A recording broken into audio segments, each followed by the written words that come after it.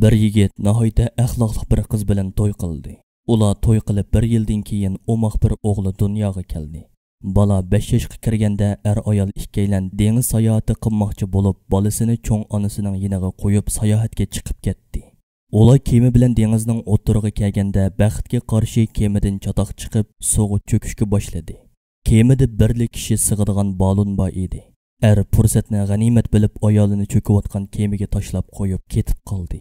Ayoli bo'lsa bolamizga obdan qarang deginicha kema bilan billa suvga g'arq bo'lib o'lib ketdi er uyga parishon holda qaytib keldi u o'g'lini ko'ngil qo'yib cho'ng qildi o'g'il onasining qandoq o'lib qolganligi to'g'risida o'ylanishga boshladi u boshqalardan onasining o'limini oz to'la anglag'achqa onasining o'limida dadasining sababkorligi bor deb gumon qilib ko'ngli bakli yerim bo'ldi ba'zida dadasiga o'chmanlikka qo'zg'alib qoladi o'g'il oliy maktabga kirgan kunlarning birida o'qituvchi mundoq dars so'zlab berdi.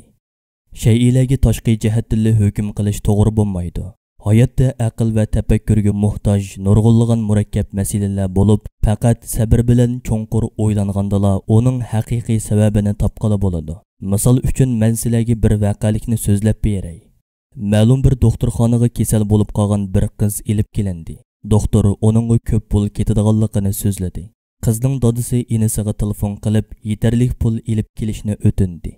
Inisi bir soat ichida doktorxonaga yetib boradiganligini aytdi. Bir soatmi o'tdi biroq uning telefonisi taqilib qoldi.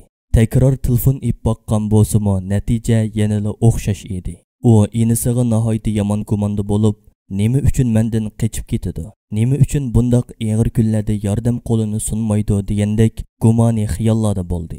U g'azablanib ana shunda xiyol qilayotganda tuyuqsiz ish qo'ng'irg'i jirangladi inisi kelgan edi u ishini ochganda inisi uningga yetarli pulni sunib turib mundoq dedi aka meni kechirgin vaqtida kelanmadim telefonimni setib pul hozirlab keldim buni anglagan aka xo'shalliqdan inisini quchoqlab mundoq dedi payg'ambar alayhissalom mundoq degan edi yomon gumondan saqlaninglar chunki gumoniy so'z eng yolg'on so'zdir Okutukçunun dərisini anlığan və bu hikayədən təsirlənən oğul dərisdən düşüb xoşal bolğan halda öyyə qayıtıb gəldi.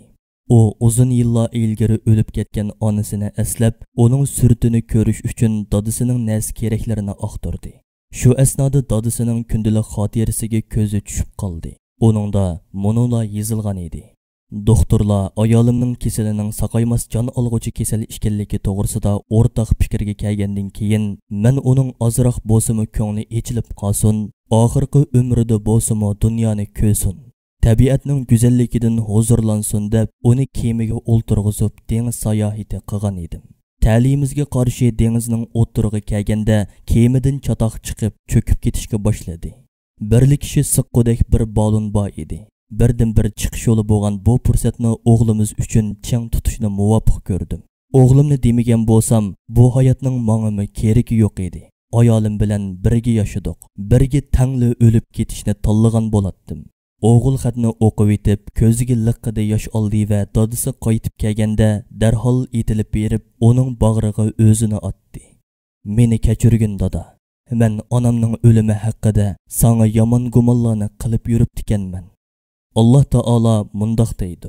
Эй мөминләр, нургун гуманладан сакланыңлар. Яни аиледикиләреңләргә ва кишиләргә гуманхорлык кылмаңлар. Бәзи гуманлар хакыйкатан гунаһтыр. Мөминләрнең айыбын издемаңлар.